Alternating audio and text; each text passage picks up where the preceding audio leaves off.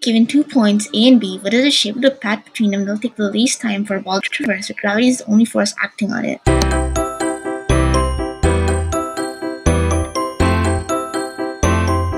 You might think that the answer is a straight line, since it's the shortest path, but starting out with a slope helps the ball speed up while making the path longer.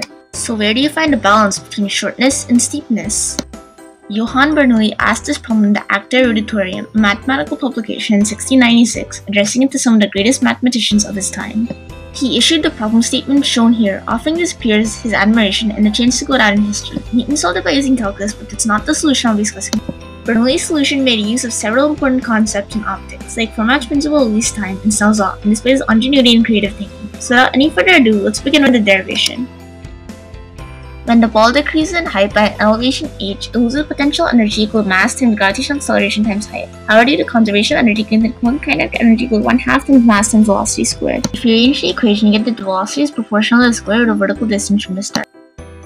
So what was Bernoulli's great brainwave? Learned from his principle least time, which that light always takes the shortest path to get to another point. The path that it takes would be the brachistochrone.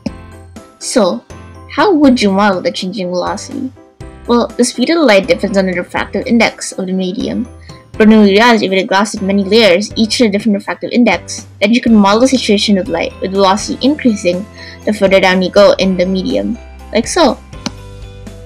Another thing we know about light is that it's always instantaneously obeying Snell's law. That is, the product of the sine of the angle of the normal and the refractive index is constant. We can use this property to find a relationship between the angle of the tangent line the brachistochrone and the vertical distance traveled. So we know this equation is the tangent line. The derivative of whatever function represents the brachistochrone. When Bernoulli saw it, he immediately recognized it as the derivative of a cycloid. But what exactly is a cycloid? Well, to put it simply, a cycloid is a curve traced out by a point on a wheel as the wheel rolls along a flat, frictionless surface, like in the animation.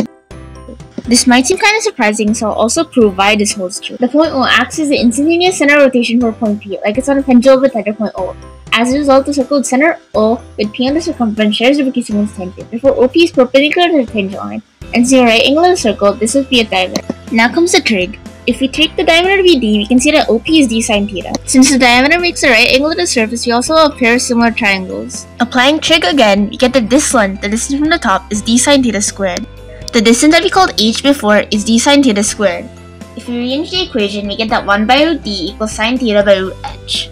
Since the diameter is constant, so is sine theta by root h, which is what we've been trying to prove. The brachistochrone problem married math and physics, and also gave birth to the calculus of variations. It also has a lot of use in roller coaster design and engineering. And finally, it proved that in reality, a straight line might not be the shortest path after all.